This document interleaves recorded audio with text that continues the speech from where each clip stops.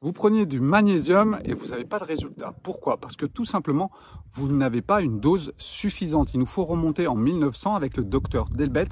Je pense que c'est la personne, le médecin qui a fait le plus d'études sur le magnésium. Et il a dit quoi? Eh bien qu'il fallait tout simplement 2 grammes par jour pour réellement avoir un résultat. Je vous invite à lire son livre qui est en téléchargement gratuit sur mon site internet en PDF.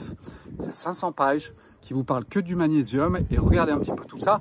250 mg dans vos gélules. Franchement c'est quasi rien. C'est pour ça que ça ne fonctionne pas. Allez j'en profite pour vous montrer les ruines de Doga.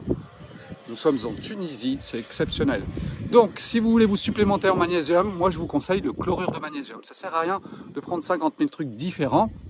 Il a fait ses preuves largement, d'accord? Notamment la Première Guerre mondiale avec toutes les expériences de Delbet. Et il n'y a pas besoin d'acheter des suppléments compliqués, d'accord? Par contre, il faut à peu près faire un mélange de 10-12 grammes par litre. Et ensuite, vous allez boire un verre d'eau par jour. Et puis, si vous avez des blessures, vous mettez sur les blessures. C'est idéal pour que ça booste votre système immunitaire.